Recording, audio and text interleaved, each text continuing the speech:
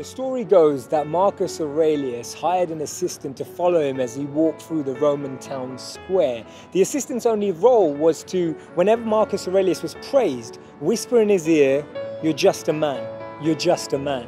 They say two things define us our patience when we have nothing, and our humility when we have everything. You know, the greatest thinkers on the planet believe that they're perpetual learners, perpetual students of reality and of life. And it was actually Maya Angelou who said that actually I've learned that I still have a lot to learn.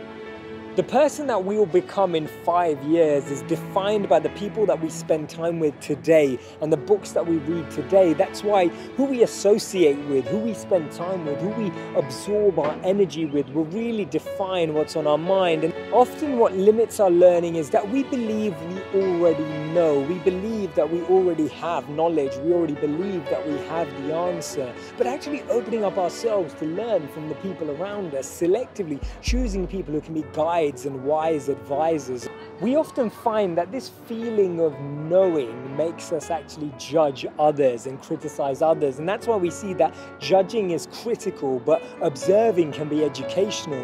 And therefore, we should be so focused on improving ourselves that we don't have any energy to criticize anyone else. And when we're focusing on improving ourselves, we'll surround ourselves by people who challenge the way we think, who question the way we behave.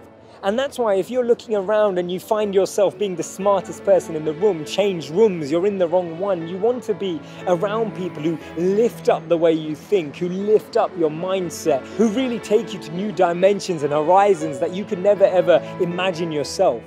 I believe that we should never let compliments get to our head and never let criticism get to our heart because when we do that, we can start to build with genuineness and authenticity. When we're humble, we can actually grow and rise up and always feel that we're learning, always feel that we're developing, always feel that someone can share insight at any moment that can change our lives. Have you ever found it that similar situations keep coming into your life and actually nothing ever goes away until it teaches you what you needed to learn? So when we don't extrapolate lessons from situations, we have to take that test again. We almost have to learn that lesson again and therefore simultaneous or repetitive situations keep approaching us in our lives. When we realize that we're students for life, instead of making people see how powerful we are, we want people to understand how powerful they are, and we'll learn how to empower others. We'll actually attract people to work with us to achieve our goals. They say it's better to know how to learn than to know. Because when we know how to learn, it becomes a habit, it becomes part of our mindset, it becomes a part of the way that we daily navigate life. We're trying to draw lessons from every person, every situation, every interaction, every moment that can actually teach us something about ourselves, teach us something about society, teach us something about our world, teach us something about how we can interact with that space.